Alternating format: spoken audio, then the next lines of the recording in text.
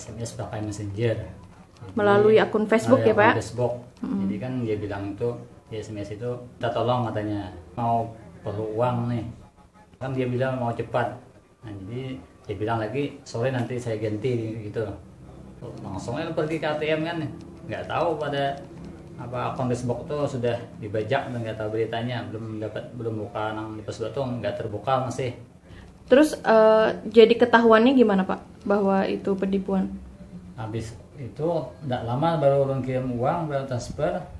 Lalu buka Facebook buka-buka buka ada yang mengirim bahwasanya akun punya Pak Aman Talib itu sudah dihacker orang. Dia orang curiga. Habis itu orang cari nomor Aman Talib itu orang telepon. Ternyata memang benar bahwa akun itu memang sudah dihacker orang. Nggak bisa lagi dibuka itu.